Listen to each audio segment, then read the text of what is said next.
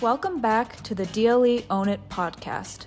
This episode features participants across the country joining the May 25th Ownership Workshop featuring Kelly Goodwin, an international expert in cultural intelligence training and owner of Culture Savvy based in Turkey. Kelly guided participants in raising their ability to recognize and leverage differences within and between team members and work cultures in their organizations. This is Dial Up Your Cultural Awareness in 60 Minutes. Welcome, everyone, to the Dulye Leadership Experience Workshop. Dial up your cultural awareness in 60 minutes. Please note that this program is being recorded and will be available for subsequent listening on the DLE YouTube channel. Please keep your microphones muted during the presentation. My name is Dan Zabata. I'm a member of the DLE program, Programming Committee and Business Development Committee. I'm based here in the Berkshires, where I work as a fire control systems configuration management lead at General Dynamics Mission Systems. I will be moderating today's workshop along with my fellow programming committee member, Kirsten Westerman. Kirsten is an office operations coordinator at Little Diversified Architectural Consulting in Raleigh, North Carolina. To maximize everyone's learning experience, we have some core DLE ground rules. Please use the chat box for your comments and questions that are topic related. Kirsten will be monitoring the chat and will surface your comments or questions to myself and our guest speaker, Kelly Goodwin, during the program. Let's get some practice with the chat right now. Please take a few seconds to type in your name, your title, an organization or company, and where you are located. Awesome, thanks everybody. All right, moving, moving on with a few more ground rules. Do your best to minimize distractions and stay focused. Make sure to have a pen and notepad handy so that you are able to take notes and actively participate. You'll have an opportunity to ask questions to Kelly after her presentation, but please put any questions in the chat throughout the workshop and we can field them at the end. This workshop will also feature breakout sessions with open discussion on our values and cultural lenses. Finally, Please take a few moments to provide your comments to the workshop feedback poll that you will receive a link to at the conclusion of today's program. There is an exclusive bonus customized by Kelly for this DLE workshop for completing the poll. Kirsten? Thank you, Dan. A reminder for those of you just logging in, please type in your name, title, company, organization, and your location into the chat box if you have not already done so. I'm Kirsten Westerman. I'm a member of the DLE Programming Committee, and I'm the Office Operations Coordinator at Little Diversified Architectural Consulting in Raleigh, North Carolina. Our guest speaker will introduce herself shortly. She's an international expert in cultural intelligence training, currently based in Antalya, Turkey. Welcome, Kelly. I am so excited for your presentation today. Hello, everyone. It's wonderful to be here with you all today. Um, as we begin, I just want to say a special thank you to Linda Dulye and the programming committee members. As we've prepared for this talk today, I have a new appreciation for the commitment of each of the committee members to providing high quality development opportunities for the DLE community. So thank you so much for all your work. So my name is Kelly Goodwin and I was born to American parents living in Turkey. And growing up between cultures, I always found myself explaining Turks to foreigners and explaining foreigners to Turks. And I think that's really how my passion began for helping people from different backgrounds understand each other and work together effectively. So this led me to study anthropology and intercultural studies. And then I spent six years in the Arab Middle East, uh, in Iraq, I worked among Marsh Arab women doing anthropological fieldwork. And then in 2014, I moved back to Turkey where I worked as an operations manager for a business that created fair wage, dignified work for refugee women who had fled um, mostly from ISIS. Um, a few years ago, people started asking me for intercultural training uh, to help them work with others. And pretty soon, this training moved on to full scale training that I was doing for groups. And then I became a uh, cultural intelligence certified advanced facilitator. And recently, I've also become a certified unconscious bias facilitator. Last year, I started my own business called Culture Savvy, and I live and work in Turkey, though at the moment I'm in the US. As you can see, the beautiful Pacific Northwest um, forest behind me. It's not a fake background. So as we get started today, I wanna give you a quick overview of what we're going to be talking about. First, we're going to talk about why culture matters. I'm going to give you an introduction to cultural intelligence, or CQ as we call it for short. We're going to spend most of our time talking about cultural awareness and some specific examples. And then we're going to end with breakout rooms and some action steps. So as we begin, let's start with another chat box activity. And I'd like you to answer the question, what comes to mind when you hear the word culture? Okay, so when you hear that word, what comes to mind? If you're feeling really adventurous, go ahead and type in how you would define culture. What do you think would be a good definition of that word? So I'll give you a few seconds to write in the chat box. So I will, uh, we probably won't get to read all of them, but I will um, pull out a few to just kind of look over together.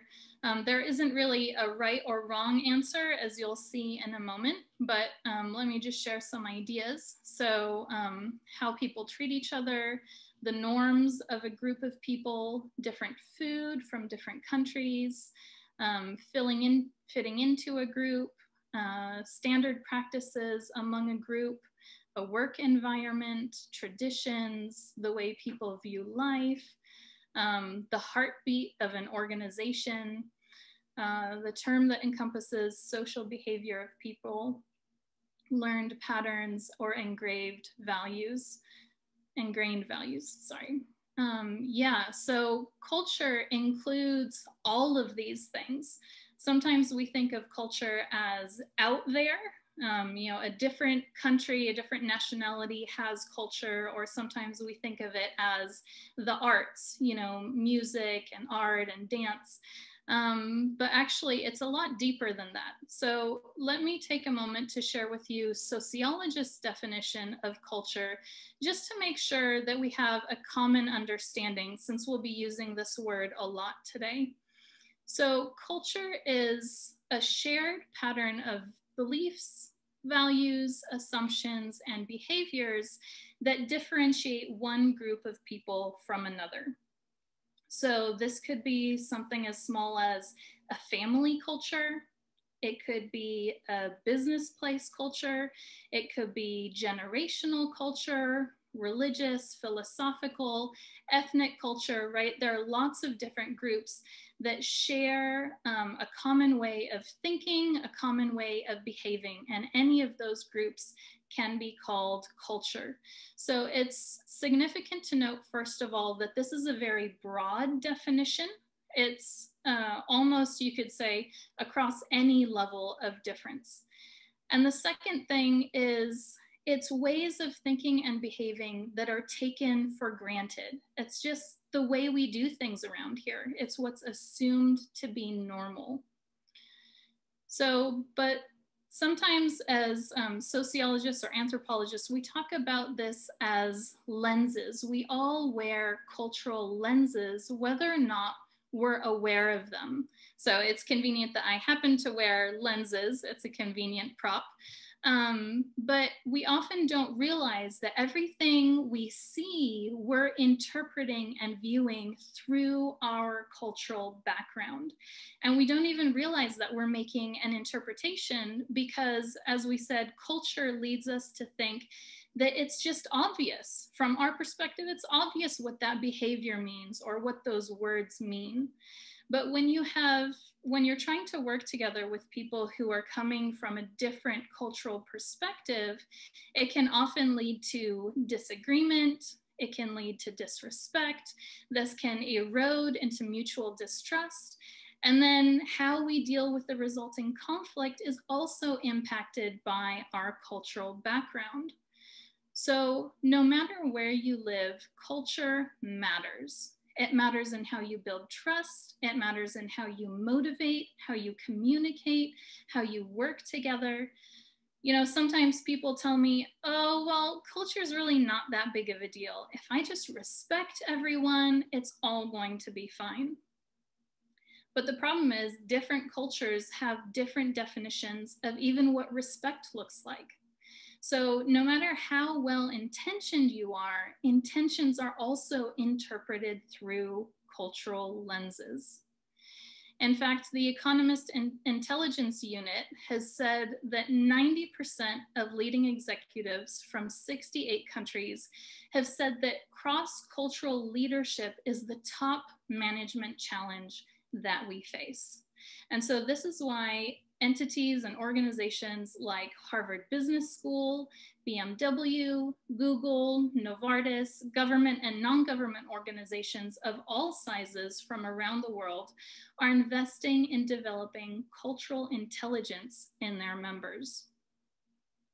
So let's quickly define cultural intelligence. Cultural intelligence, or CQ as we call it, is the capability to function and relate effectively in culturally diverse situations. So it's about being able to relate effectively with people who are different from yourself. So that includes things like cultural awareness that we're going to be talking about today, but it actually goes beyond that to developing the skills that are necessary to address all the kinds of challenges I just mentioned. So cultural intelligence is based on more than 20 years of academic research. Over 200,000 people have been surveyed from over 100 nations. And the question underlying all this research is this. What's the difference between individuals and organizations who succeed in today's globalized multicultural world and those that fail? And out of the research, four capabilities have emerged as what distinguishes those who fail and those who succeed. So the first one we call CQ Drive, and this is our motivation piece. This is how interested you are in learning about different cultures and interacting with people from different backgrounds. Now, since you're here today, I'm going to guess that you have at least some degree of motivation for developing cultural intelligence. The next is CQ knowledge, and this is our information piece. So how much do you know about the similarities and differences between cultures? CQ strategy is your ability to take that information and use it to plan and prepare for interactions that you have with people who are different from yourself. And then CQ action is your ability to actually change your behavior so that your point gets across the way you intend it to. So today we're going to be talking mostly about CQ knowledge, your understanding about how cultures are similar and different, because awareness of your own cultural background and awareness of other people's cultural background is really a foundation for developing cultural intelligence. So academically, we talk about cultural value dimensions. So we put them onto scales where we talk about the differences between what different cultures value. So in our full length training, we talk about 10 of these cultural value scales, but today I'm just going to mention two. And I'm going to share um, some examples of different ways that they show up. And let me start by sharing a story with you. So, two years ago, my husband and I went on a work trip to Jordan. And while we were there, we met a retired British lady. And as we were getting to know her, she said, Oh, you're Americans. Well, I lived in America for a few years, and my husband and I, we just hated it. We could not wait to get out of America. She said, People in America are so unfriendly. I was a little bit surprised because I've traveled a fair bit, and um, most people consider Americans to be relatively friendly. And so I said, Could you explain that to me? What do you mean when you say Americans are unfriendly? And this lady said, Well, so my husband works for this multinational, or used to work for this multinational, and uh, we spent about 30 years working in Asia, and then his last few years we got transferred to America. He was set to work on this big development project. So as he went about work, he'd go to his colleagues and say, Hey, can you give me feedback on this? Can you give me input on this? Can you help me out with this? But found that people would always brush him off or disregard him or tell him to go figure it out on his own. And she said they were just so unfriendly. Now, what this lady didn't realize is that this is actually a cultural value difference um, because she also explained how in Asia, what they experienced was that teams would pull together, and a success was a team success, and a failure was a team failure. So we talk about this as the difference between cooperative versus competitive cultures. So cooperative versus competitive is the extent to which you prefer to achieve results collaboratively, working together with other people, versus more competitively and on your own. So it's a preference for how to get things done. Cooperative cultures tend to emphasize relationships first and have a more nurturing approach. Has everyone participated in this? How do we all feel about the project? How is it moving forward? But a competitive cultural value will emphasize achievement and putting tasks first. It will be um, much more assertive in its approach. Now, just to be clear, both orientations are concerned about results and both care about relationships, but it's a difference in priority of how to get things done. Is it through conversation or is it through debate? Is it by getting along together or is it by each person being their own personal best? If you think about this, this, uh, this cultural value affects things like how you apply for a job. So if you're trying to get a job at a cooperative company, competitive behavior is going to come across as pushy and aggressive. Conversely, if uh, for a competitive company, a cooperative approach might come across as unassertive and even incompetent. Uh, also, if you're in a negotiation or in a sales pitch and you assume that the other party has a competitive approach, you might emphasize how that party can win and come out ahead. But if they actually value collaboration, your pitch is going to be ineffective because what they want to know is that you value working together. There's also a difference here between uh, ethnic background. So research shows that Caucasians and Asian Americans tend to be more cooperative, sorry, competitive, and African American and Latin American heritage tends to have more of a cooperative approach. So it's important to know the background of the people or the organization that you're interested in working with. Last week, the DLE sent out a 10 second poll asking whether um, the culture of the current organization you're with influenced your decision to work there. And I just want to share those results really quickly because 98% said that yes, the cultural environment affected the decision to work at that organization. So I also want to run a quick poll here. Kaylee, if you could launch that for us. I would like you to describe your workplace culture and what which of these cultural values is emphasized in your workplace? So go ahead and um, put your response to the poll and then we'll share those results. All right, so here are the results.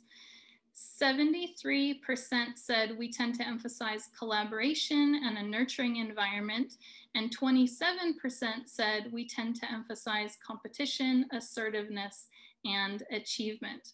So even though um, three quarters said uh, it's more collaborative, I think this also shows that it's important to know who you're interacting with and what the culture of that location is. So, um, because what we find is that a difference in this cultural value preference tends to create a lot of misunderstanding and conflict. So, even with this retired British lady, her lack of understanding caused her to interpret a cultural value of competitiveness in that particular multinational as unfriendliness. And so, this lack of awareness of cultural differences can lead to misunderstanding. So, as I describe uh, this value and also the next one, I'd like you to think about which one describes you best personally because we're going to talk about this during our breakout groups. And I want to emphasize that one cultural value is not better than the other. They're simply different. And as you look at different places around the world, we see how they're spread out along the continuum between cooperative and competitive. So the next one I want to share is uncertainty avoidance. This is sometimes also called risk aversion. So people with low uncertainty avoidance prefer to figure things out as they go. People with high uncertainty avoidance prefer to eliminate ambiguity and uncertainty using planning or even tradition. So as an example, my husband and I are on opposite ends of this scale. So when we have to work together to make a decision, our opinions can be diametrically opposed. I want to think through all the potential risks, all the potential benefits, every possible outcome, everything that could go wrong. And my husband will say, let's just go for it and see what happens. It's an adventure, it'll be fine. And that throws me into a panic. So, on a national scale, um, there's an example that Germany has procedures and policies in place for national disasters that have never happened before. So, even though there's no precedent, they already have policies and plans in place for how to deal with those disasters. There's also a difference here in department functions. So people in legal or accounting typically rate higher in uncertainty avoidance than people in departments like recruiting or marketing. Um, and this makes sense if you think about it. You want your engineer to be exact and leave nothing to chance. But you want your HR director to be flexible and adaptable. And in fact, this is one of the cultural values that creates the most conflict on diverse teams because individuals with high uncertainty avoidance can view their low uncertainty teammates as reckless. And those with low uncertainty avoidance may view their high uncertainty teammates as uptight and unable to go with the flow. So cultural intelligence can help these teammates figure out how to work together. Also, when we're talking about generational differences, boomers tend to prefer uncertainty avoidance and to seek certainty, where Gen X and Gen Y are typically much more comfortable with uncertainty, taking risks, um, making mistakes in the process, and just going with the flow. So when you're trying to work and relate with someone, it's really helpful to understand where they are in this cultural value scale so that you can understand the motivator behind their decisions and behind the things that they say. So cooperative versus competitive and uncertainty avoidance um, are really helpful to be aware of when we're working together with people to understand what's influencing the things that they say and the decisions that they make. So, if I'm communicating or working with someone from uh, the other side, it can be really confusing or even frustrating. You know, you feel like you just can't see eye to eye. Maybe you want to pull your hair out and go, it just doesn't make sense, right? Has that ever happened to you? I'd encourage you to add two little words to that phrase. That doesn't make sense to me. And this is from Dr. David Livermore, co founder of the Cultural Intelligence Center. And I call this a power phrase because it does two things. Saying that doesn't make sense to me, first of all, points out our cultural self awareness. It causes us to stop and think, you know, what are my own cultural lenses? How is my own background affecting how I view this situation? And secondly, it reminds us to practice our cultural awareness of the other person, to look at their perspective and even spark curiosity to understand them and their perspective or their cultural background better. So understanding that these are simply different perspectives can help us take a non-judgmental approach when we're working and relating with others. We're going to move on now to the breakout groups. And I have two questions I would like you to talk about to help develop your cultural awareness. So the first question is, which of the cultural values do you personally identify with? So remember that one is not better than the other. It's just a preference. And actually, these preferences, these cultural values are instilled in us from childhood, from a very young age. Um, so hopefully you'll have both sides represented in your group, or you may feel like, well, it's more moderate, not quite on either extreme, and that's fine too. And the second question I would like you to uh, share about is what shaped that value in you? So take some time to think about what contributed to shaping that value. Is it your family culture? Was it the school or the educational system you were in?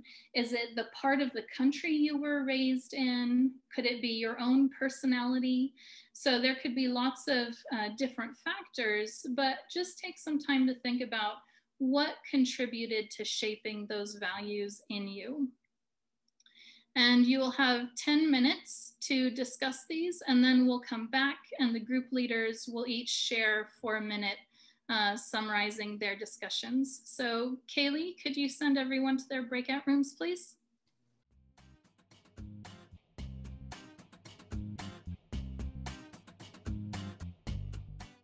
Well, welcome back, everybody. I hope you guys enjoyed your conversations. Uh, we'll go with the around with the group leaders to kind of discuss what you guys uh, chatted about. Marcus, you want to go first? Yeah, I can go first. Can you hear me? Yeah. Awesome. So, like always, 10 minutes is never enough. Uh, we had a diverse group in our breakout. We had an anthropologist, a colleague of our guest speaker uh, today. We had a high school student. We had a couple of engineers, um, and of all different age ranges. Um, we had some great feedback and conversation. Um, with the first question of which of the cultural values do you personally identify with, we had a great mix. Um, we have several. We had a couple people that were um, felt more cooperative some people felt more um, collaborative, but they didn't feel like it was mutually exclusive. It was like more so you might lean towards one more than the other, but you had a little bit of both. Um, what what shaped the value in you? Um, it, it, really main main categories. Experiences was one, and geography. So experiences, um, and one thing about experiences is as you experience them, potentially your view and values might change. And also, your age doesn't mean that you have more experience than someone that was younger. Someone that was younger might have had three to three to four times as many experiences than a person that's older.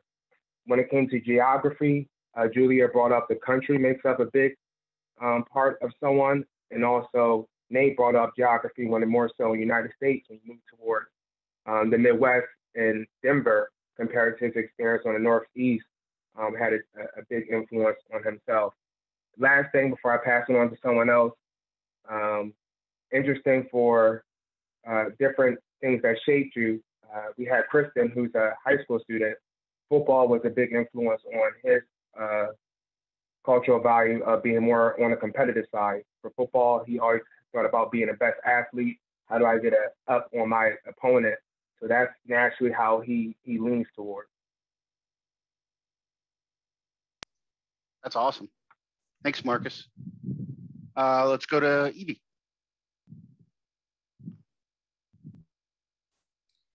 So in our group, um, we had uh, an engineer, we had, um, uh, I know Cecilia works at Williams as, as I do, so she's in HR. And then we had um, Katie from the DLE.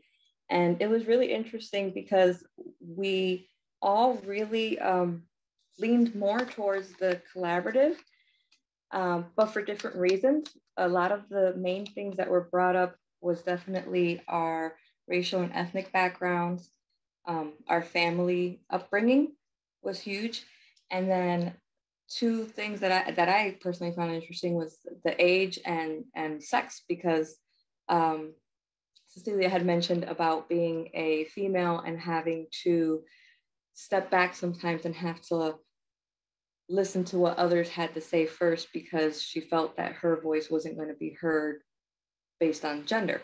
Um, so really just the fact that we all felt that we were more leaning towards collaboration, but for different reasons, and that at different points and different reasons why we had to then move to cooperative. Um, some things that were mentioned were like sports teams, and when we had, we were kind of forced to have to be more on, on that dynamic of, of the spectrum, as well as when you felt that you needed to have your team backing you up. So you would lean more towards being on the collaborative side versus the cooperative side. The other one was the uncertainty avoidance. It seemed like the group consensus for us was we were more on the high. Um, I know for myself, I'm in finances, so I think that that was just for me why I, I tend to be more of a high that and being a mom i mean with kids you just naturally i think plan to be more uh, risk averted.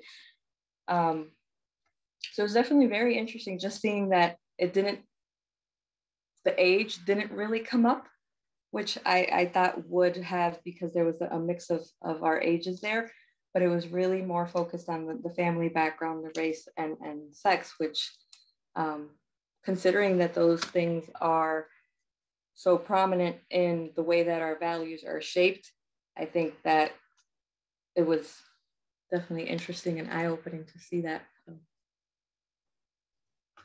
Thanks, Evie. And that's why this is such a great topic, right? There's so many different. It can be, you know, on any yeah, level. there's so many different things that can that influence these, you know, everybody's cultural differences. Um, Kirsten. Yeah, so our group was pretty much the same in the sense that we feel like we could have teetered on any side of the spectrum. It really depended on what environment we were in and kind of where we are in our life. So I know Jamie mentioned at one point he felt he was more competitive, but as he's gotten older, he feels like he's a little more cooperative. So I definitely think where you are in your life, we definitely also brought up sports teams. That's huge. And depending on kind of where you lean in that sense. You kind of have to have that competitive edge, but especially if it's a team sport, then you kind of have that collaborative edge to you. Um, Linda mentioned that having her own business, she kind of always felt a little more competitive and everything, but she joined rowing, especially doing team rowing to kind of give her that collaborative edge, kind of bring that into her work. So it's really cool how you can kind of find different types of cultural backgrounds to kind of put into your work. Um, so yeah, it was really interesting conversation and we got a lot out of it. We could have talked for a lot longer. yeah, thanks, Kirsten. We, we could have too, right? We only got to the first question. We didn't even get to the second question. Uh, we did have a very diverse group. It was great. Um, and, and half were on the competitive side and um, Jonathan and I were kind of half and half on both competitive and collaborative.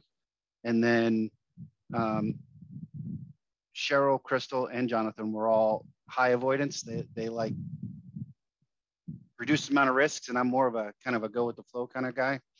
So that's kind of the way uh, that panned out. But we had such a good conversation about how culturally America is more competitive, right? And that's just kind of how how we we just kind of been I don't know, like raised to be more competitive and and so like I used to be. But since I got out of sports, it's always been I've always been trying to be collaborative since I was in the Navy, and that that's kind of what they taught us, right? So um, it was just an interesting dynamic between the group, and we could have talked for probably two hours about this subject. It's it's that great, and and that's why I can't wait for the the follow on three part that's going to come later that that Kelly's going to give. So now I'm going to turn it over um, to Kirsten for questions. Kirsten and Kelly, sorry. Awesome, thanks, Dan. Yeah, we definitely have some great um, questions that popped up in the chat. So let me start with the first one that came up. So this is from Christian. Kelly, he asked, is it possible to find a culture that is both cooperative and competitive? So when we um, look intensely at these cultural value scales, we actually plot them along a continuum.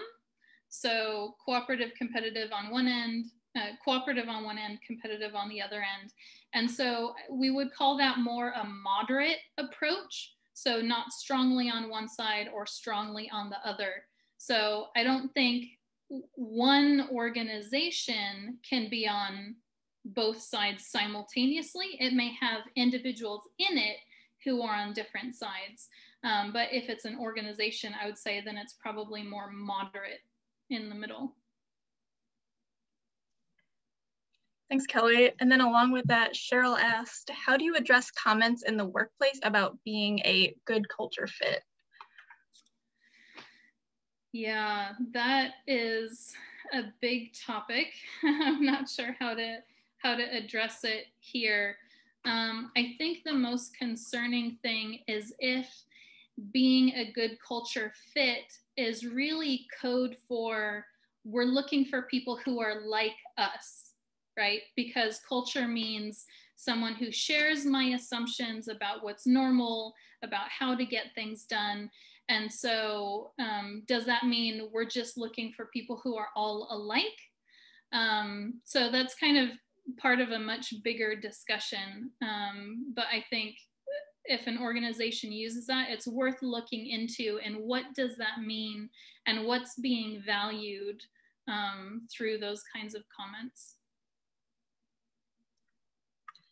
Thanks. And this also, again, is probably just such a huge answer, but if you had any types of tips, uh, Christian asked, what advice would you give to an individual who is personally on the competitive side, but is in a group culture that shares a cooperative culture value?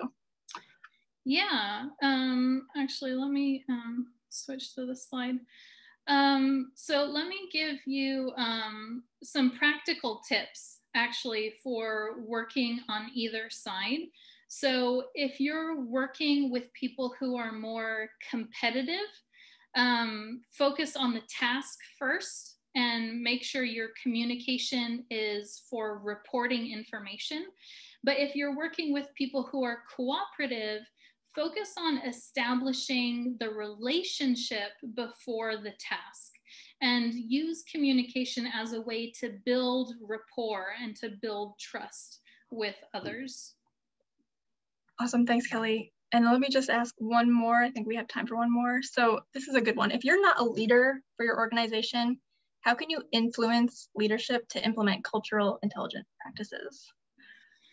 Yeah. Um, so this is one, um, yeah, we'll talk about more in our full length workshop. Let me just say here, um, I'm going to be partnering with the DLE to do a full length workshop in the fall um, where we will talk about all four of the CQ capabilities and the specific skills to develop them.